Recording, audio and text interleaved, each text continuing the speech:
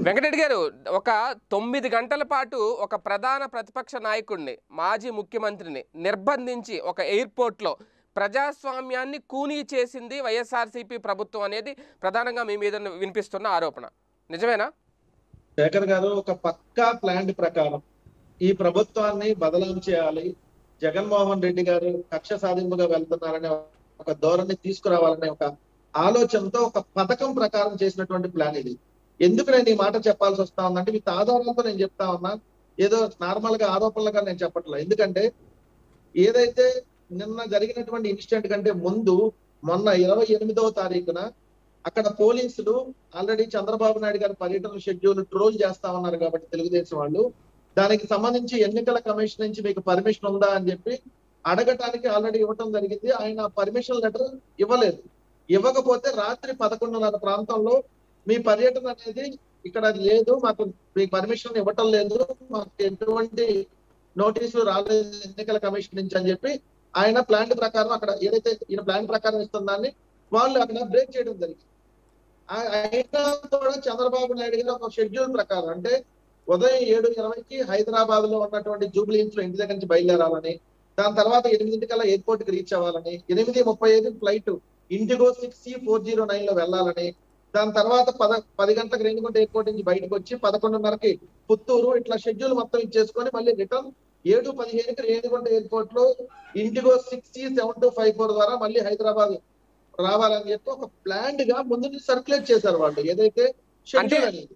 అంటే షెడ్యూల్ బయటకు పోతే- కాదు షెడ్యూల్ అనేది ప్లాన్ అయి ఉండొచ్చు. తప్పేం లేదు. ఆయన ప్రధాన ప్రతిపక్ష నాయకుడు ఏదో సడన్గా బయలుదేరి వెళ్ళిపోడు కదా. ఒక షెడ్యూల్ ఉంటుంది. మీరు చెప్పిందంతా కరెక్టే. ఫ్లైట్ నెంబర్తో సహా. అంతా అంతా కరెక్టే.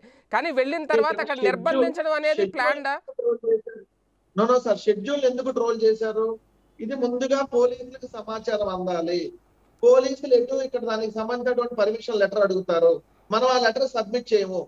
సబ్మిట్ చేయకుండా మనం డైరెక్ట్గా వెళ్తాము. అప్పుడు పోలీసులు ఎయిర్పోర్ట్లోనే మనం ఆపుతారు. సో దాని తర్వాత మనం ఒక డ్రామా క్రియేట్ చేసి మళ్ళీ సాయంత్రం మన యాస్టిన్ ఫ్లైట్కి రిటర్న్ రావచ్చు. ఇది ఒక ప్లాన్ ప్రకారం జరిగింది. మేము నిర్బంధించడం ప్లాన్ కాదు సార్. చంద్రబాబు ముందే హైదరాబాద్లో. ఆపేయచ్చు కదా. అసలు ముందే ఇక్కడ విమానం ఎక్కకుండా? ముందే ఆపేయచ్చు కదా. సార్ హైదరాబాద్లో హైదరాబాద్కి సంబంధించినటువంటి పోలీస్ వ్యవస్థ ఆంధ్రప్రదేశ్ రాష్ట్ర పరిధిలో ఉండదు.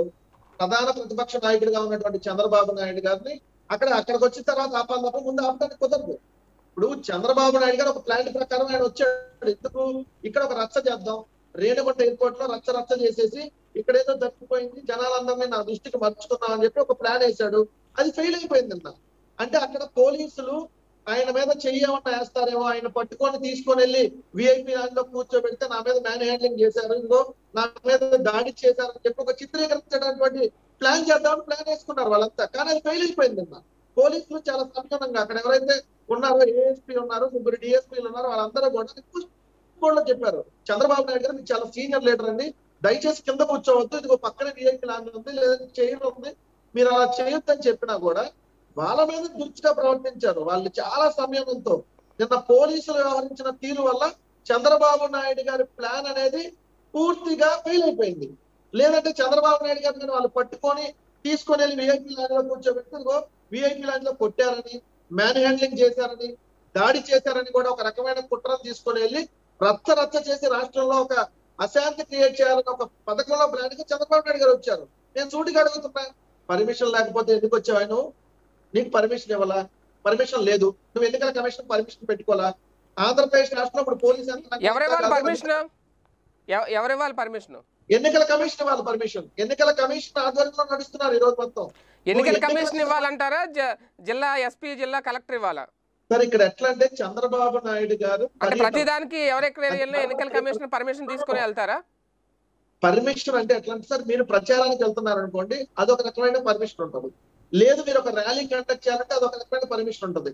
మీరు ఎలక్షన్ కోడ్ ఉన్నప్పుడు అంటే ఇప్పుడు మున్సిపల్ ఎలక్షన్ సంబంధించినటువంటి కోడ్ ఉన్నప్పుడు దాంట్లో దీక్షలు గాని ధర్నాలు గాని ఎటువంటి నిరసనలు గాని అవును అవును. అదే నేను అదే అనేది. ఇప్పుడు ఆ జిల్లాలో ఒక జిల్లా ఎంచుకున్నప్పుడు ఆ జిల్లాలో పర్యటన చేసినప్పుడు ఆ జిల్లా అధికారులు ఇస్తారా పర్మిషన్? లేదంటే ప్రతి జిల్లాలో ఎక్కడికి వెళ్ళాలన్నా ఎస్సీసీ నిమ్మగడ్డ రమేష్ కుమార్ గారే పర్మిషన్ ఇస్తారా?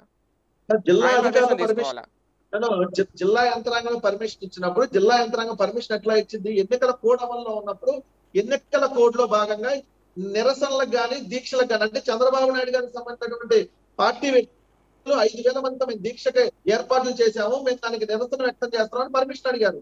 లేదు పర్మిషన్ ఇవ్వడానికి లేదు. ఐదు కంటే ఎక్కువ ఎక్కడ ప్రచారానికి కూడా వెళ్ళడానికి లేదు. ఇప్పుడు ఎన్నికల కోడ్ కండక్ట్లో ఉన్నప్పుడు సెక్షన్ థర్టీ అమల్లో ఉన్నప్పుడు కోవిడ్ నిబంధనలు ఇవన్నీ దృష్టిలో పెట్టుకొని పర్మిషన్ ఇవ్వడానికి వీల్లేదు. మీరు ఏమైనా ఎన్నికల కమిషన్ దగ్గర పర్మిషన్ తెచ్చుకుంటే దాన్ని మేము ఓకే చేస్తామని చెప్పారు. బట్ ఎన్నికల కమిషన్ దగ్గర పర్మిషన్ తెచ్చుకోవాలా తెచ్చుకున్నప్పుడు ఇక్కడ ఎట్లా యాక్సెప్ట్ చేస్తాము? ఇక్కడ పోలీస్ అందరికి పర్మిషన్ త్రూ ఎన్నికల కమిషన్ ద్వారా వస్తే తప్ప ఇవ్వడానికి లేదు. ఎందుకంటే ఎన్నికల కమిషన్ ఒక రూల్స్ ఇచ్చింది. ఐదుగురు కంటే ఎక్కువ కూడా మీరు ప్రచారం చేయడానికి వీల్లేదు అది కోడ్ ఆఫ్ కండక్ట్ అమల్లో ఉన్నప్పుడు నిరసనలు కానీ లేదంటే దీక్షలు కానీ ధర్నాలు కానీ ఎటువంటి చేయడానికి కూడా లేదు. లేనప్పుడు పర్మిషన్ ఎట్లిస్తారు అదే చెప్పారు పర్మిషన్ లేదని. మీరు ఒకవేళ ఎన్నికల కమిషన్ దగ్గర తెచ్చుకుంటే ఆ లెటర్ ఇవ్వండి పర్మిషన్ ఇస్తామని కూడా చెప్పారు. కానీ చంద్రబాబు నాయుడు గారు అసలు ఎన్నికల కమిషన్ అప్లై చేయలేదు కదా పర్మిషన్ కోసం. సో ఇది ఒక ప్లాంట్ ప్రకారం జరిగింది.